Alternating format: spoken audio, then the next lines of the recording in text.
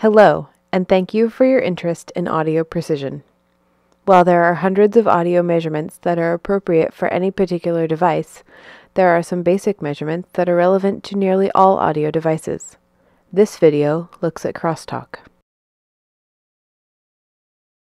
Crosstalk is unwanted leakage or bleed of a signal from one or more channels to other channels within a device. It's a fact of life when dealing with electronics, but with thoughtful layout of a PCB or appropriate shielding on cables, it can be kept to a negligible amount. Measuring crosstalk is quite simple. We stimulate channel 1 with a signal, but measure the output of channel 2. Channel 2 has no input, so on a device with zero crosstalk, it will have no output signal. Where crosstalk is present, we'll see some signal that corresponds with the signal we're giving in channel 1. To get a value for crosstalk, we take the level from the channel we're measuring and divide by the full amount we measure on the stimulated channel. Because crosstalk is a ratio, it's usually expressed in decibels. Measuring stereo crosstalk is simple with a two-channel analyzer, but when you have a home theater receiver or a mixer with multiple inputs and outputs, it gets complicated. You could use a switcher and run through each combination of channels off and on, but it's much easier to use a multi-channel audio analyzer that can generate and analyze multiple channels independently and simultaneously. We'll look at these options in a later tutorial that covers multi-channel issues in detail. Okay, let's measure some crosstalk. Let's take a look at measuring crosstalk in a two-channel device.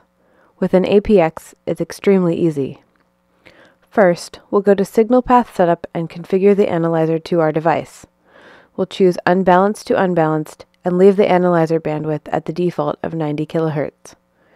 Then we click the crosstalk measurement from the Measurement Navigator.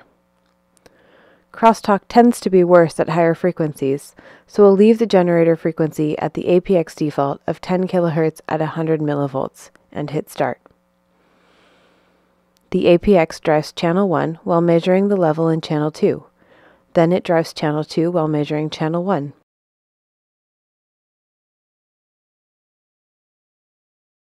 The results are displayed in dB, or we can look at them as a raw percent. Just for fun, let's look at the crosstalk of an 8-channel equalizer. We're using an APX 585 here, so we can increase the channel count to 8 channels in and out. We'll run the measurement, and again you can see the APX going through the iterative process of measuring the output of one channel while all the others are being driven.